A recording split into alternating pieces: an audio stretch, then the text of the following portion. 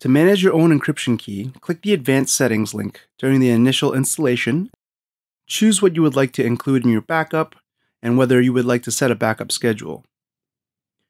After you've made these choices, you can choose to manage your private encryption key. Select the option Manage My Own Encryption Key and click Next. Click the checkbox to agree you understand the responsibility will solely be yours if you decide to manage your own encryption key. You also give up the ability to access your backed up files through Anytime, Anywhere access. If you want to, you can also password protect your encryption key by clicking the link.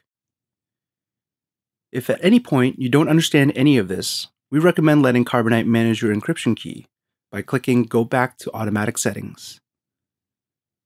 Once you're ready, click Save My Encryption Key. Navigate to a safe place to save your encryption key. Notice here I'm using an external drive because if my computer goes down, I would still be able to access the key on the external drive with another computer. Click Start Backing Up to complete the installation.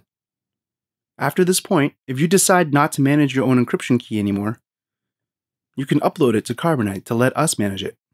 To do this, log into your account, click the Computer Options dropdown, and click Upload My Encryption Key.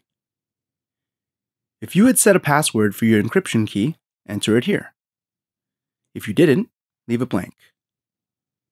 Click Choose File, locate your encryption key, and then click Upload Key File.